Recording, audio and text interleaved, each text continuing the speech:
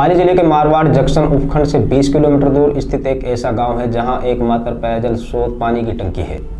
वो भी सही नहीं है। विगत चार सालों से इस गाँव में सरकारी पानी की टंकी खुली पड़ी है। टंकी के ऊपर कोई ढक्कन नहीं है, जिसको लेकर ग्रामीणों ने कई बार प्रशासन के आला अधिकारियों से इसकी शिकायत भी दी है। वहीं ज़िले के प्रशासनिक अधिकारी मूर्ख दर्शक बनकर तमाशा देख रहे हैं।